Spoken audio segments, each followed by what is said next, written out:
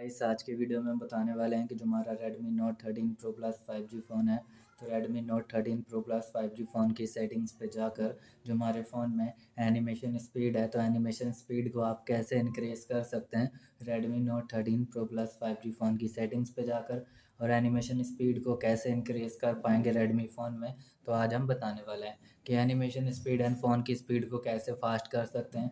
और कैसे फ़ोन की स्पीड को इनक्रीज़ कर सकते हैं रेडमी फ़ोन में तो हम बताने वाले हैं। तो वीडियो स्टार्ट करने से पहले हमारे चैनल को लाइक करें सब्सक्राइब करें और साथ में बेल आइकन दबाना ना भूलें।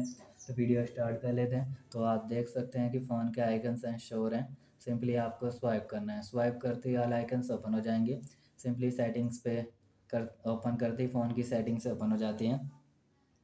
तो आपके फ़ोन में जो भी एनिमेशंस की स्पीड है तो एनिमेशंस की स्पीड को इंक्रीज़ कैसे कर सकते हैं और फ़ोन की स्पीड को कैसे इंक्रीज़ कर पाएँगे?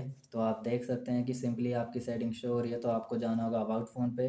अबाउट फ़ोन पे जाकर डिटेल इन्फॉर्मेशन सेटिंग्स पे जाना, इस पर टैप करना तीन से चार बार डेवलपर ऑप्शन आपकी फ़ोन की एडिशनल सेटिंग्स में ओपन हो जाएगा। फिर आपको एडिशनल सेटिंग्स पे जाना होगा टैप करते ही एडिशनल सेटिंग्स आपके फ़ोन में ओपन हो जाएगी। स्लाइड करते ही आपको डेवलपर ऑप्शन पे चले जाना है। स्लाइड करना है और स्केल सेटिंग्स पे जाना है, जो भी विंडो एनिमेशन स्केल है, एनिमेशन स्केल सेटिंग्स पे चले जाना है। तो आपके पास स्केल सेटिंग्स आ जाएगी, यहाँ पर देख सकते हैं। तो जो भी विंडो एनिमेशन स्केल्स है तो इसको ऑफ़ करना है ट्रांजेक्शन एनिमेशन स्केल्स को भी ऑफ़ कर देना है।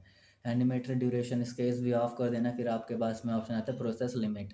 तो जो भी लिमिट होती है, उसको भी आपको नो बैकग्राउंड कर देना, जिससे आपके फ़ोन की एनिमेशन स्पीड आपके फ़ोन में इंक्रीज़ हो जाएगी, और आप फ़ोन की स्पीड को फास्ट कर सकते हैं। तो आपको वीडियो अच्छी लगी तो लाइक करें सब्सक्राइब करें और साथ में ही बेल आइकन दबाना ना भूलें। थैंक यू नेक्स्ट वीडियो के लिए इंतज़ार करें। वीडियोस को शेयर करें। थैंक यू वीडियो अच्छी लगी तो।